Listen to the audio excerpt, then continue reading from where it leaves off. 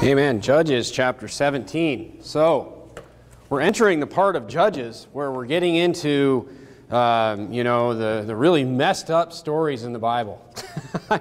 if I was going to preach a sermon series on messed up stories in the Bible, I'd spend most of my time at the last latter part of, of, Judges. Okay, and this is where it kind of we're done with Samson, we're done with Gideon, a lot of the these stories of the judges in the Bible, and we're getting to these stories in Judges where you just like you're reading these stories and it's funny because this particular story here i can when i read this story i still remember how i felt the very first time i read this story.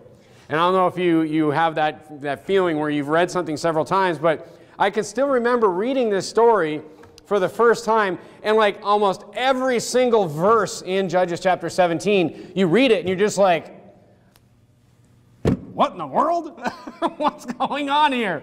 So let's go ahead and look at Judges chapter 17 and get into um, this story. And as we, um, as we go through these stories in the last part of the book of Judges, we are going to um, look at the parallels in these stories to what's happening um, with us today in our lives today. Okay? And you know, you may be shocked at how many parallels there actually are. You know, so when you read something like this, you know, you're typically like, well, you know, what's going on here? But um, you may be shocked at how uh, it's not really that new, even compared to what you're dealing with today in the world around you. Look at Judges chapter 17. It's a, it's a short chapter, but there's a lot here. Okay, look at Judges 17, verse 1.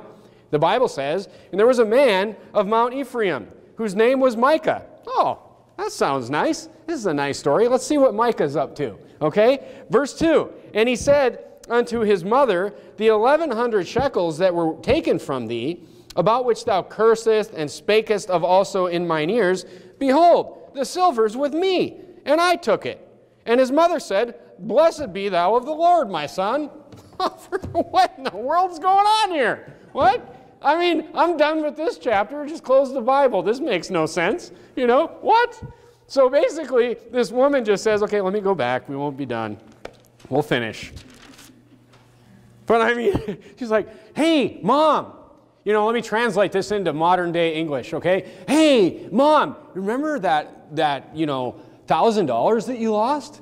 And you just swore up and down and you were cursing everybody and everybody and, and you couldn't find it and you were like, somebody stole it from me. Hey, mom, it was me. I stole it. And she's like, blessed be the Lord. So that, that's what's happening here, okay? That's what, that's what we just read, okay? He's like, I took it. And his mother said, Blessed be thou of the Lord, my son. I mean, he thought Samson was spoiled, you know? I mean, so look, it, first of all, it gives you a kind of, of an idea of, of the kind of guy that we're dealing with right here, all right, right off the bat. We get kind of an idea of the character of Micah, and probably that Micah probably didn't have the best start in life. He probably wasn't he just, the boy wasn't raised right, is basically what you can say. Okay? Look at verse number three. Well, so let's see if it makes more sense. Maybe I just took one verse out of context. Verse number three. And when he had restored the 1,100 shekels of silver to his mother, well, at least he gave it back. At least he gave it back to his mother, so there's hope for Micah. Okay? His mother said, I had whole, wholly dedicated the silver unto the Lord from my hand for my son to make a graven image and a molten image. Now, therefore, I will restore it unto thee. You're like, what in the world? Look at verse 4. Yet he restored the money unto his mother, and his mother took 200 shekels of silver and gave them to the founder, meaning, you know, the person that runs the foundry that makes stuff out of metal, who made thereof a graven image and a molten image, and they were in the house of Micah. So, first of all, the mom says, I've dedicated this money to the Lord. I, I dedicated it to the Lord for you to make a molten image for you. And you're like, what? What's going on here? So she wants to make a molten image to dedicate the money to the Lord. It's kind of like saying, hey, let's, let's take a special uh, offering in the church. Like we, you know, let's do a special offering next week and we'll take a bunch of money and the money that we raise will go and we'll buy a, you know, a satanic statue to worship. You know, that's basically what she said, right? So they're, she's, she's got, she's got, they're all mixed up here. Okay, they're all backwards and mixed up. And then he gives her the money back, and that's exactly what she does with it. She goes and she makes a molten image. She literally makes her son an idol. She doesn't make an idol of him. I think she probably has already done that from reading these first few verses, but she makes him a literal idol. Look at verse number 5. And the man Micah had an house of gods. So he already had several idols. This man, he was a collector of gods. He already had a temple or whatever you want to call it of false gods, of gods, of idols or whatever. And he made an ephod and a teraphim and consecrated one of his sons who became his priest. So, I mean, makes perfect sense, right? I mean, you're like, he's got this big temple, he's got all these false idols in it. He's like, we got to get me a priest. Got to get me a priest to run this place. So he's like, uh, Jacob, you're going to be my priest. You know, and he consecrates his own son as his priest. Look at verse number six. In those days, there, and now, now, we now we see. In verse number six, we, we get to see what's happening here. It kind of wraps it up. In those days, there was no king in Israel, but every man did that which was right in his own eyes. You think? It's exactly what's going on here. Micah's doing what's right in his own eyes. His mom has raised him in the way that is right in her own eyes. She is doing what's right in her own eyes. He's doing what, you know, hey, he saw some money, he took it. She saw some money, she got it back, and she went and she bought an, she had an idol made, you know, a false god made. And it's because every man did that which was right in their own eyes. There was no, you know, there was no law that anyone was following. So we get some clarity on at least why things are so backwards and so mixed up in the first few verses here. Everyone was just doing what they felt was right in their life. You know, what they felt was spiritual. You know, they, you know, Micah had a house of gods. He felt like that would make him spiritual. He needed a priest, so he just went and he made his son a priest.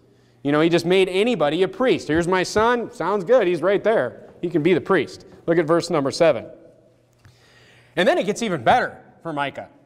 Because, I mean, he had his son as a priest, but now, I mean, we have a chance to get even more godly here. Look at verse number 7. And there was a young man out of Bethlehem, Judah, of the family of Judah, who was a Levite. Whoa! This guy's a Levite. And he sojourned there. He, he stayed there. And the man departed out of the city from Bethlehem, Judah, to sojourn where he could find a place. And he came to Mount Ephraim, to the house of Micah, as he journeyed. And Micah said unto him, Where, Whence comest thou?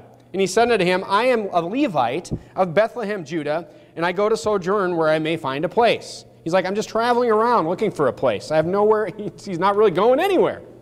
And Micah said unto him, Dwell with me. He said, And unto me, be unto me a father and a priest, and I will give thee ten shekels of silver by the year, and a suit of apparel, and thy victuals. So the Levite went in. And the Levite was content to dwell with the man, and the young man was unto him as one of his sons. And Micah consecrated the Levite, and the young man became his priest, and was in the house of Micah. Then said Micah, Now I know that the Lord will do me good, seeing I have a Levite to my priest. So Micah sees this guy that's a Levite, and he's like, Hey, I mean, look, he obviously doesn't know a lot about the Bible. But he knows enough to know that the Levites are supposed to be the priests in the house of God. He doesn't know, obviously, that you're not supposed to worship false gods, you're not supposed to have idols in the first place, or he doesn't seem to care. But he's like, hey, I'm going to get me a Levite. Now I got a real priest, even though he's got false gods and still all these things. So basically, you know, I don't even know where to begin. You know, when you read this chapter and you're like, you preach a sermon on this chapter, you're like, where do we even begin here? This is so messed up. But look, First of all, I want to point out the parallels. When we talk about Judges 17, Judges 18, Judges 19, and the end of the book of Judges, there's a lot of parallels to what we're dealing with today. Okay? And, you know, don't just sit there and think that, hey, that's messed up. Because I'm going to show you tonight how what's happening in Judges 17 is happening today. The exact same thing is happening in our country today. And you say, explain that. We'll turn to Ephesians chapter 6. Let me give you a few points just to show you how Judges 17 is applicable to exactly what we're seeing in our world, even in our country, even in our city today. Look at Ephesians chapter 6. First of all, just this disrespecting of parents, okay? This, this, this idea that we're going to be disrespectful to our parents is, is, is, extremely common today. Look at Ephesians chapter 6. And we can't, look, we can't even read all the chapters or all the verses in the Bible for sake of time that talk about being respectful to your parents. But Ephesians chapter 6 and verse number 1 is one Children, obey your parents in the Lord, for this is right. Honor thy father and mother, which is the first commandment with promise. What's the promise? That it may be well with thee, and thou mayest live long on the earth. So this is saying, look, if you're disrespectful to your parents, if you just dishonor your parents, you're just nasty to your parents, the Bible says that will affect you how long you live on this earth. I mean, that's, I mean, that's a promise. So, I mean, here you have an adult son literally stealing from his mother. He's stealing from his mother. I mean, that's the opposite of obeying and being respectful to your parents. Now, the parallels to this today, turn to 2 Timothy chapter 3, is we actually see um, an entire generation today, I would say, being raised with absolutely no respect for their parents. An entire generation. I mean, if you don't recognize that pattern, you know, if as you're out in the world, as you're soul winning, as you're doing everything else, you know, you're not paying attention. Look at 2 Timothy chapter 3. That's why when we teach about, you know, uh, discipline from the Bible and all these different things, you know, people that first come into this church from outside into a Bible preaching church and they hear sermons on how you're supposed to raise your kids and, and how you're supposed to discipline your kids and how you're supposed to chastise your children if you love them, you know, that may be hard to hear for people coming from the outside world to hear or coming from some, you know, liberal church that says nothing to hear. That may be a difficult message to swallow because it's not what's being taught anywhere today. Okay, which is why we're seeing what we're seeing today. Look at 2 Timothy chapter 3. It's also a sign, by the way, of the end times.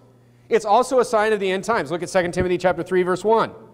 The Bible says, "This know also that in the last days perilous times shall come. For men shall be lovers of their own selves, covetous, boasters, proud, blasphemers, disobedient to parents, unthankful, unholy, and it goes on and on. But look, this is, remember the clues and the milestones? This is a clue, okay? Because look, it was happening in Judges chapter 17. That obviously wasn't the end of the world, okay? That obviously wasn't the end times. It's happening today. Could it be the end times? We don't know. But it could just be, look, it's a sign of a, of a declining civilization for sure. For sure. I mean, this civilization in the end of the book of Judges here that we're seeing in Judges, it was reaching a breaking point. It was reaching a breaking point where civilization had broken down, where morality had broken down to the point where God had to just, he had to reset things. He had to reset things. He had to, he had to give them a king. He had to put in, you know, a new um, leadership structure because things were just completely out of control. Things were just completely out of control. So look, we see that there's parallels to even just the first couple verses here, where Micah is just completely disrespectful to his mom, and she she's okay with it. She's okay with it. He stole from her. She's like, "Oh, blessed be my son." You know, oh, you know, she wishes a blessing on him after he admits that he stole from her after she was even upset that she had this money stolen from her. But the main point that I want to make this evening is this. So that's just a kind of a side note, this disobedience to parents. Look back at verse number 7. The main point I want to make and the main parallel that I want to make with Judges chapter 17 with our society today is this. And that is this. It is, it is doing things our own way. So if there was a title to this sermon, it would be Our Own Way. Our Own Way. That is the story, that is the real, the heart of the lesson of Judges chapter 17, is our own way. Look at verse number six. In those days, there was no king in Israel, but every man. So it says there was no king in Israel, meaning, look, there was just no leader. There was no leader in Israel, but every man did that which was right in his own eyes. You know, the Bible teaches this philosophy that as a society gets more and more and more immoral, that you will need more and more and more worldly leaders over you.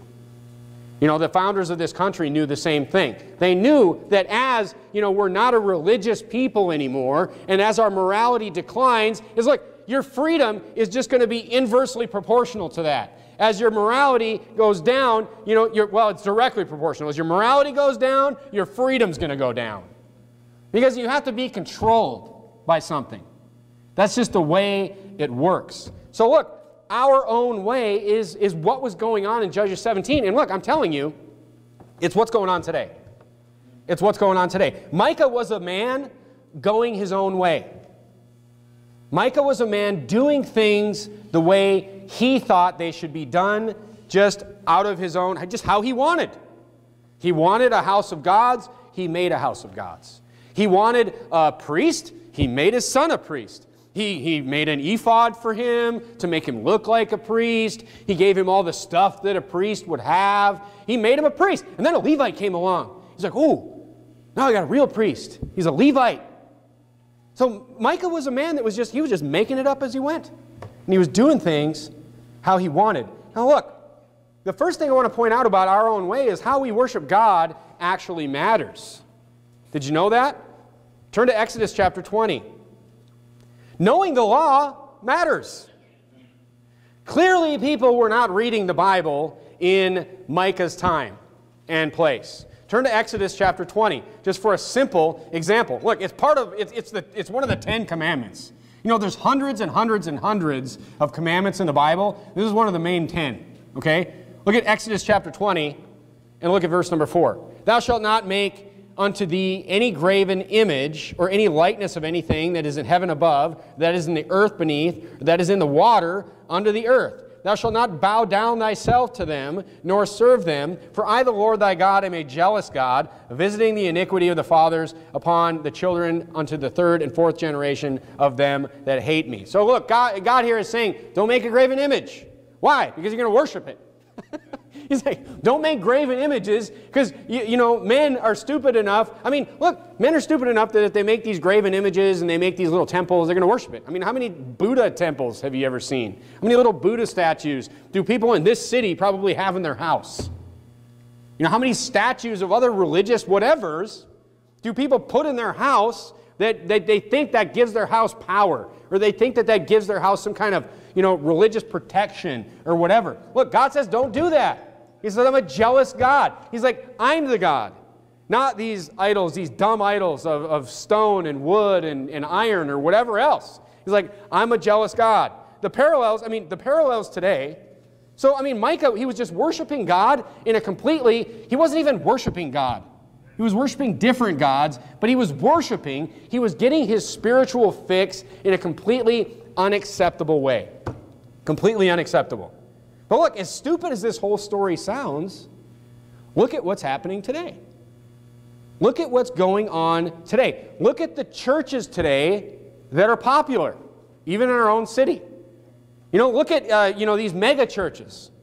How are they worshiping the Lord? You wonder, you wonder even what Lord they're worshiping as you know they, they have these you know the rock concerts and the and the music that you know it sounds no different than the music somebody is driving down the street in Fresno blaring in their car. It sounds the exact same as that in a church. I mean look these people I mean their music mimics the world. You know we'll turn to Romans chapter 12 you say what's the big deal? As long as we make Christian lyrics and we talk about Jesus. What does it matter what the tune of the music is? Well, it does matter because the Bible says it matters. That's why. Look at Romans chapter 12. You say, I mean, man, you're getting really specific, but the Bible tells us that we should not be doing this. What do you mean? We should not be looking, we should not be trying to turn this church into what the world looks like. Because the Bible, why? Because me? No, because the Bible says this in Romans 12, too. It says, and be not conformed to this world is that hard to understand? It says, hey, don't try to go out and look like the world looks like. But you know what? You know what? You know what's funny? You know, there's a reason they do it. They don't do it just because, you know, they like the tune. They do it because that's what people want. They do it because people, look, it's almost like God, when He wrote Romans 12 2, it's almost like He knew what would happen. He did know what would happen. He said, Be not conformed to this world, but, what's the opposite of that?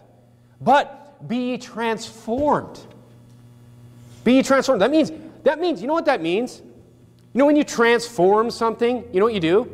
You know when you transform, when you take, when you have a transformer for electricity, you know what you're doing? You're changing it in some way. You're taking something in and you're sending it out and it's different.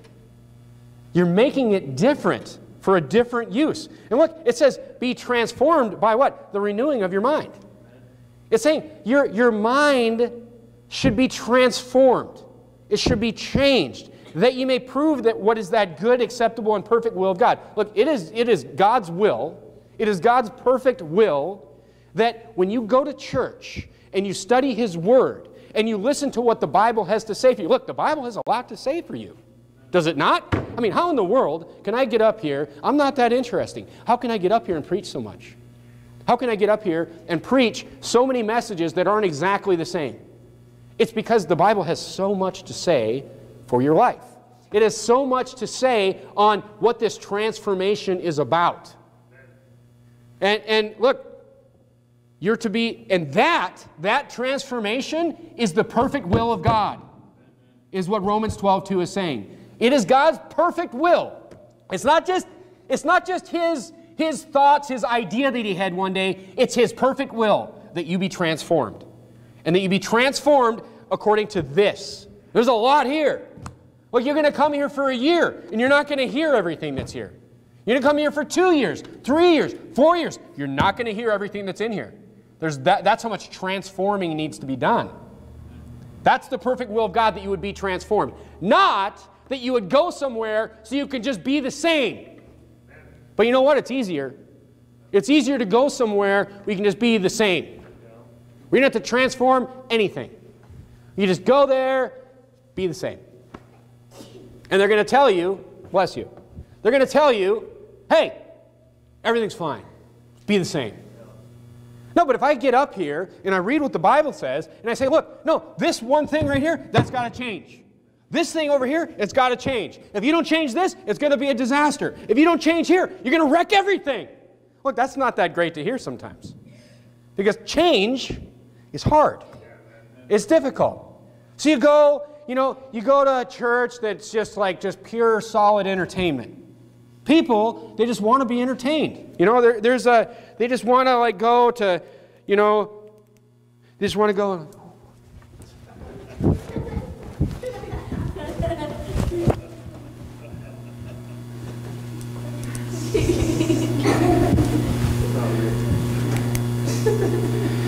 Well, let's turn, let's turn the pulpit into a clown show. Hey kids, how about that? How about I get up here in a clown outfit, big red shoes, and we just have a clown show every day? You come to church and we have a clown show. It's funny for five minutes until everybody ruins everyone's lives. And nobody gets transformed, nobody changes anything. And but look, people want to be entertained. That's why people go to movies. They don't care it's just a bunch of sin and garbage and all this stuff. They just want entertainment. That's it. Now look, I don't want to be boring. I mean, the Bible's not really boring. But look, you're going to hear stuff that you don't necessarily want to hear. And it's not just pure, cheap entertainment. But people don't want to hear what the Bible has to say. That's why they go to these other places. And that, look, they want to have that spiritual feeling, right? They don't want to go to a rock concert. You know, they want to go to the rock concert on Saturday night, and then they want to go to the rock concert on Sunday morning to, you know, get that spiritual fix. I went to church. That was Micah. I, I went to church and worshiped a bunch of false gods. I went to church, you know, with a real priest. He's a Levite. You know, I had a real live priest. Look at him. He looks like a priest. See all that gold and stuff I put on him? So, look, he wanted to get that spiritual feeling, but he wasn't doing it the right way. Look, that's why these churches have hundreds and thousands of people. It's very easy to understand because they're conforming to the world and they have a bunch of people. Because look, I mean, I'm telling you, I mean, if I know anything after a year and a half of doing this, it's hard to get people to conform. I mean, you sit here and you preach and you preach and you preach. It's difficult because people don't want to conform. And I want you to conform because I don't want you to, you know, ruin things for yourself and your family, but people don't want to do it. People don't want to do it. The message the message. So you got the entertainment, you got the light shows, you got the music. It's all conformed to the world. So what's the message at that point? So you got this church full of worldly people. You got this church full of, I'm not even talking about salvation or not. You got a church full of worldly people. You know, most, I mean, most of the gospels are not correct. Okay, but I don't even have to go there. Let me just give you an example. You got a church full of worldly people that the they don't want to conform to anything. They want to sing the rock music. They don't want, they want the light shows. They want it to look like the nightclub. They, you know, what, what's the message? They got the nice building, you know, the big uh, arena or whatever it is. Look, the message is this. The message, and it has to be this. It's nothing. It can be nothing. It can be nothing. Turn to 1 Corinthians chapter 1. Because once you have a bunch of people that you're not preaching that they need to be conformed and you filled your church that way, you can say nothing in the Bible. Why? Why? Because here's why. Because the Bible says this. It says 1 Corinthians 1:18, "For the preaching of the cross cross is to them that perish foolishness. But unto us which are saved it is the power of God." They would hear the preaching of the Word of God. And we saw again, turn to John chapter 8. Turn to John chapter 8. We saw again, look, the Word of God offends. Remember, it cuts to the heart. It cuts to the heart. So you can have this church full of people that you're just trying to, you know, get them to just be the same as the world, and you're trying to make the, your church like the world, and you're trying to make everything look no different than the world, and then you're going to preach the Bible? Well, that's not going to work at all. That's not going to work at all. Look at look, this has been the tactic of Satan from the beginning. The word of God offends people. The word of God offends people. Look at John 8:44. The Bible says this, "Ye are of your father the devil, and the lusts of your father ye will do." He was a murderer from the beginning, and abode not in the truth, because there's no truth in him. When he speaketh a lie, he speaketh of his own, for he's a liar and the father of it. Look, he's been trying to get people to doubt God's word from the very beginning. And all those people that are conformed to the, world, to the world that are sitting in those churches, they all doubt God's word. They would hear God's word and they would, it would just sting their ears and they would be like, ah, what's that all about? Turn to John chapter 3. Genesis chapter 3 and verse 1, the Bible says, I'll just read for you. Now the serpent was more subtle than any beast of the field, which the Lord God had made. And he said unto the woman, Yea, hath God said. That's the first tactic that he uses, and it's the main tactic that he uses today. He's like, hey, did God really say that? He said to Eve, Are you sure? Did he really mean it that way? He's just trying to plant seeds of doubt. He's trying to take away the absolutism of the Word of God is what he's trying to do. And that's what's happened today, which is why people can sit in these churches and why you can't preach the Word of God to those people. You can't do it, it won't work. It's like oil and water. Look at John chapter 3 and verse 19. And this is the condemnation that light is come into the world, and men loved darkness rather than the light, because their deeds were evil. For everyone that doeth evil hateth the light, neither cometh to the light, lest what? His deeds should be reproved. You can't have a bunch of people conform to the world and start preaching the Word of God to them. It, something's got to give. Something's going to give. They're either, they're either going to give or they're going to, they're, they're, they're going to leave is what's going to happen. So you have a church, if I had, you know, if we started Verity Baptist Church, Fresno, and we just like, we're just rocking this thing out up here. Rocking, you know, we just left the old hymns and we left all the, you know, the principled stands on the Bible and we just had this smoke show up here and all this stuff. Look, I, I couldn't preach the Bible. If I built the church that way, I couldn't preach the Bible or I'd be preaching to a bunch of empty chairs because all those people would leave if that's what they came for. Look, Bible preaching cuts to the heart. And a man that is in the world is not going to like it. It's, it's very simple. You know what a cool experiment would be? Would be to take some, you know, like take Joel Osteen's church, I don't even know what it's called. Take this big mega church and just put some fire breathing Baptist preacher in there. And just do like a, just do an experiment for like, I don't know, probably only take about a week. And you'd have a church about like this. People, I mean, you know, a handful of people probably get saved. You know, people would probably get saved. That's the first thing. But the vast majority of people, they'd hit the door. And they'd hit it fast. As soon as that first time that, that Bible started getting preached, people would be, their ears would just, ah, and they'd be out the door. But it would be cool to watch the filter of God's Word work in an experiment like that. But what people in the world, folks, They don't want to hear, you know, the world preached against. It's like you're preaching against, you know, they're, they, you know, you're basically you're gonna you're gonna expose their sins. That's what the Bible says. It's not comfortable, but this is religion today. This is religion your own way. This is religion when you do it your way and, and not God's way. But we'll still call it church. We'll still, you know, we'll still have a pulpit. We'll still put a cross on the building. We'll give the priest an ephod. Maybe we'll even get a Levite. You know, how many times have you been to the door and you ask somebody if they're going to heaven and they're like, Yeah, I'm going to heaven. Well, how do you know that? Well, my dad's a pastor. My, my mom's a deacon. My mom's a deacon, so I'm going to heaven. Or, you know, my wife is a pastor of the church. I'm good. Thank you, son, for stopping by. You know, I mean, look, it's the same thing as, hey, we got a Levite here. Let's make him a priest. It's the same thing. You know, it, it, calling it church, calling it worship doesn't make it so.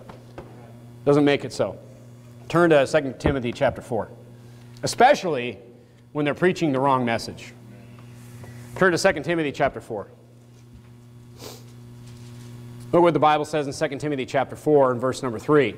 The Bible says this. Tell me there's not parallels here. For the time will come when they will not endure sound doctrine. I think Micah needed some sound doctrine, is what Micah needed. Micah's priest needed some sound doctrine. I mean, think about this Levite. I mean, was this guy a Levite coming right out of the temple? I mean, this guy was, this guy, I mean, the temple wasn't even around, but I mean, my point is that this guy, he was, you know, a Levite. This guy came in and he decided, he's like, I'll take the job of a priest of all these false gods. I mean, some spiritual guy this was. For the time will come when they will not endure sound doctrine, but after their own lust shall they heap to themselves teachers. There's Micah right here. He's just bringing himself in a priest. He's, like, he probably told the guy what to say. He's like, here's how you run this place, and here's what I want you to say. Having itching ears, that they shall turn away their ears from the truth, and shall be turned unto fables. They have itching ears. They want to hear the things that they, that they want to hear. They want to do it their way. So they're going to get themselves priests. I mean, that's what people are doing today. They went out, they went out, uh, you know, the Joel Osteens and all these people, they got themselves some priests to tell them some fables. That's what they're doing. You ever listen to the messages of these people? That's what they're doing. They're telling fables. They're telling fables. They're telling, they, will tell some story that has nothing to do with the Bible. You know, it's usually an entertaining story. Maybe even it has lessons. You know, Jack and the Beanstalk had a lesson, a couple of lessons in it. No, seriously, Jack and the Beanstalk, you remember this? I mean, lessons like don't be greedy, listen to your parents. That's great. Let's tell Jack and the Beanstalk next Sunday morning. That's the sermon, Jack and the Beanstalk.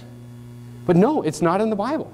It's an interesting story. There might be some neat little lessons we can learn there, but it's fake. It's not real. I mean, it, it, they're not the truth, it is the problem with these fables. So, the lesson here with Micah is that, first of all, with church, with church, with worship, with spiritual things, first, look, we must do church God's way. We must do church God's way. That's why there's so many specific things that are done uh, specifically. Everything's done specifically around here. There's not anything that I can really think of that's done on accident around here. But look, here's the thing a church that operates in the right way, that it operates God's way, is going to offend people. It's going to offend people. It, it's, look, maybe what you hear every Sunday, every Sunday night, every Wednesday, maybe what you hear is not what you wanted to hear when you came. But it's surely every single time what you need to hear. Because we're doing church God's way here. We're not doing church your way. We're not doing church my way. We're doing church, you know, God's way. We're going to offend some people. Homosexuals are unnatural people. That's going to offend people. I mean, the fact that they've been given over to this. Oh, I mean, the Bible explains exactly about it. Everyone's so confused. The Bible explains how it happened, what it means, what it means for us. They can't be saved, which means they can't come to church here. That, people aren't going to like that. People aren't going to, you know, it, it, but all the answers are there. All the answers are there. I mean, not just homosexuals, all unnatural things. All unnatural things. I'm not even going to name. We know how it happened. The Bible tells us, but that offends people today. People don't want to hear that today. You're not going to grow a church. Well, maybe you will. Maybe you will grow a church that way. I mean, I'm optimistic. But you'll grow a church with the right type of people that want to hear the truth. Okay, we're going to preach the whole thing, even the stuff that offends people. I don't care what the world accepts. I could care less.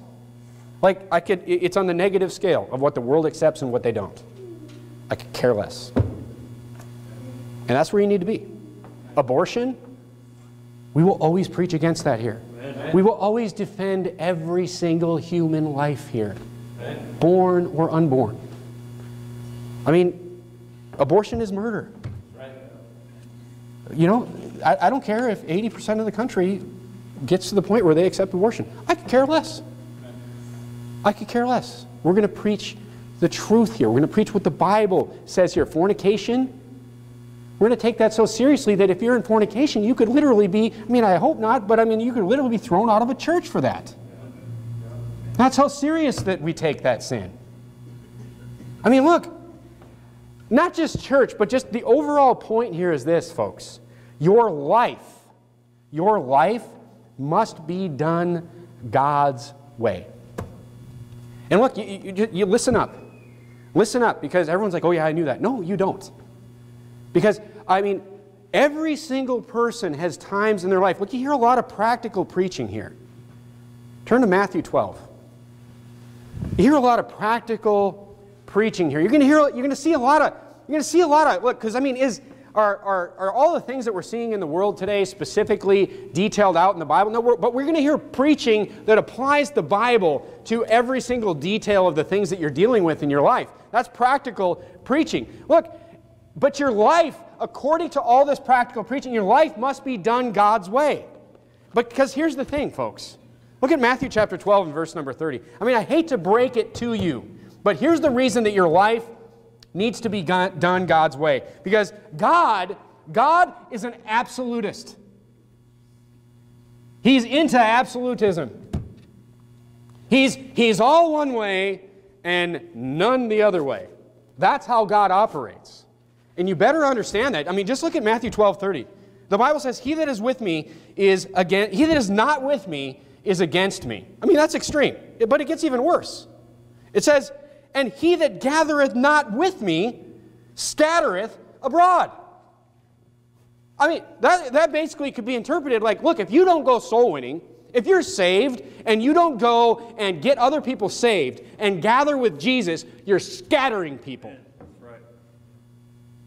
I mean, if you are not a soul winner, if you are not out there spending your life opening the Bible and giving the gospel to people to get people to believe on the Lord Jesus Christ, you're scattering people. You're like, that is extreme. You're going to stand up here and you're going to tell me that if I don't go soul winning and I don't go out and preach the word of God to people, that I'm literally sending people to hell? Yes. Why? Because that's what the Bible says. Well, look, you get a, you get a church where 80% of the people don't go soul winning, or you have a bunch of people in the church who just, they don't want to soul win. They don't, I don't want to. Well, if, if 80% of your church is like that, and you preach this type of message, those people are either going to get right or they're going to get out. And you're probably going to have a lot smaller church if you keep preaching messages like that. But the people that stay are going to be right. That's why we preach that you should look different. I mean, what, what is it? Separation. That's why we preach that you need to separate from the world. You're not conformed, but you separate. You should look different. That's the Bible applied to how you dress. You should look different. You should act different. This is why, you know, this is why we preach, we push so hard homeschooling here. Because, I mean, that's the Bible applied to how you raise your children. Deuteronomy chapter 6. I mean, that's the Bible put on all these things. That's why we preach that you should raise your own children. That's the Bible applied to that. Look, that's God's way. And I mean, look, it would not only keep the church right, but it'll keep you right. You keep your family right. And I mean, this is the difference. Look, you get outside God's way. You get out, I mean, Micah, he wasn't even in the same, he wasn't even in the same district. But you get outside God's way. I mean, I hope you don't. But if you do, you know, there's going to be consequences to that. So that's why, look, that's why it, it, it's, it's way more important than how many people come here. But it's more important, what's way more important than the numbers here is how we're doing things here. What's way, what's the most important in your life is, is how, are, are you doing your life? Because here's what people will do, by the way. Here's what people will do. They'll sit here and they're listening. You want to waste your life coming to church here? You want to waste your time here? Here's how you waste your time. And if you do this, I mean, I mean, I'm glad that you come here and have friends and stuff, but you're wasting your time. You're not getting what you could out of this. If you take practical preaching and you listen to it and you're like, yeah, yeah, I know, yeah, but, but for me, but for me, you know, I have these extenuating circumstances and things. Um, yeah, so God's way's here, and but for me, I'm going to go over here. Uh, you know, I'm not going to pay for that. I'm not going to pay for that. That's Judges 17. You see? You want to see? You say, oh, but Micah, he's just some goofy guy. Oh, yeah? Let's wait and see what happens. Let's wait and see the consequences of getting outside God's way. And I'm telling you, there's major consequences. You get outside God's way of doing things, there's major consequences. This silly little story costs countless people their lives. This silly little story. You will lose people. People will die. People will go to hell. You will scatter people abroad. People that you love if you get outside God's way. Like, oh, it's scary. I'm trying to scare you. Because I don't want you outside God's way. You go and you leave here and you do what you want. You go, you live your life how you think that you should live your life. I'm trying to teach you what God's way is. I'm trying to spend my life showing you what God's way is and trying to just beg and plead for you to listen to what God's way is. Because I don't want to see anybody suffer consequences. I don't want to suffer consequences. I don't want my kids to suffer consequences. Just, just stick to God's way. Look, here's the thing it's not complicated. The gospel's simple. God's way, simple. But you got to just shut your own way off. You got to shut your own way off. You got to shut this wicked world off. Because Satan is out there just like he was doing to Eve in Genesis chapter 3, saying, Really? Does God really want that? Really? For you, I think it's different. No, it's not different for you. It's the same. It's God's way. It's simple and it's the same for you and it's the same for your children and it's the same Bible and it's always going to be the same. And that's why, look, this is why this is not a megachurch. Because people want to be conformed to that. And they don't want to hear this type of thing. That's why Micah wanted to do things his own way. And we'll see next week. We'll see the consequences. And you'll see that the consequences weren't necessarily for Micah, but the consequences were for other people. And that's the really sad thing about getting outside of God's way. Let's bow our heads and have a word of prayer.